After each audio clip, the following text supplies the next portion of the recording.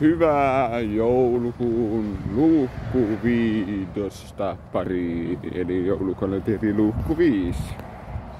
On enää 19 yötä joulu on.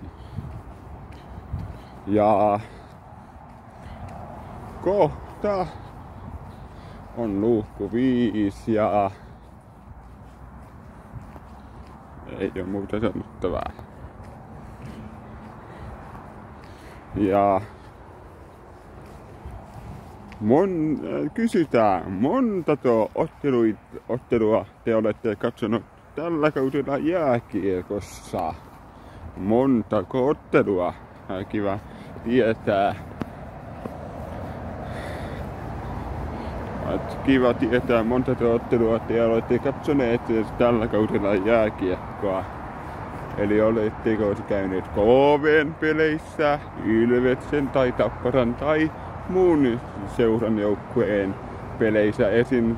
Kats mennä katsomaan es, es, ruotsalaista vätjevasta Velvasta tai sinne päin jonkun joukkueen tai IFK tai Kärpien tai Jipin Jukureitin KK kalpan tai jonkun muu.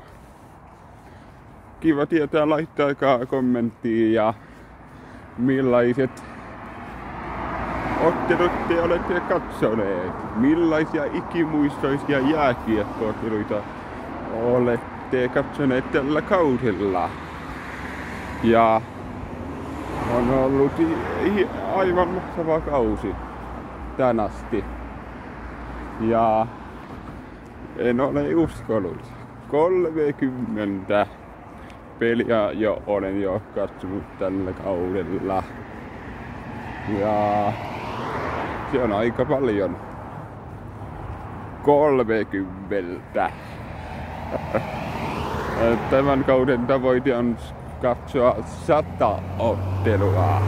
Ja kymmenen kauden tavoite katsoa tasan tuhat jääkiekkoottelua se on mun jääkiekko unelmani. Mä tähtää siihen. On mun tavoite ja haave ja unelma. Ai että unelmia kohti kaikki elää. Ja hyvää joulukuun ja nähdään luku kuutoisen parissa ja moi, ylös moi.